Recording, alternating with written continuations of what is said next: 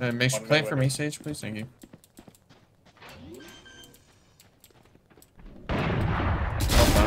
Oh,